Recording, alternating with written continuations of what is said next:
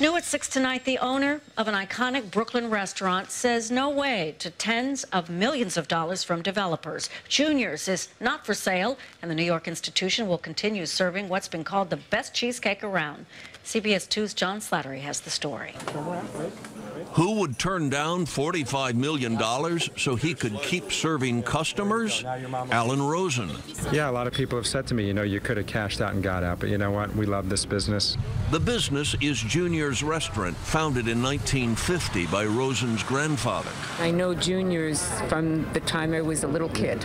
Junior's has satellite locations in Times Square and Grand Central, but the flagship restaurant is here in Brooklyn serving dinners and desserts. In 64 years, a phenomenal number of cheesecakes have been sold, more than a million a year. Outside on Flatbush Avenue, developers have put up numerous high rises, dwarfing Junior's humble two stories. Over the past year, the family considered offers to sell the building, but they didn't want to move. They wanted to stay put. It was a tough decision, but I feel like it's the right one today. I feel great today. Waiter Peter Tyson has been here 30 years. I think it's a great thing. Great thing for Brooklyn.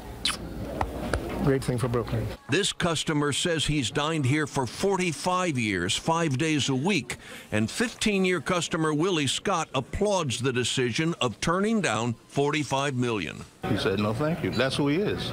That's who he is. He's about Brooklyn. He's about juniors. That's it, period. So as Brooklyn continues to grow and develop, one institution will stay, serving one customer at a time. In downtown Brooklyn, John Slattery, CBS 2 News. Alan Rosen says not selling will keep 175 people employed. The founder named the restaurant Junior's because he liked the name.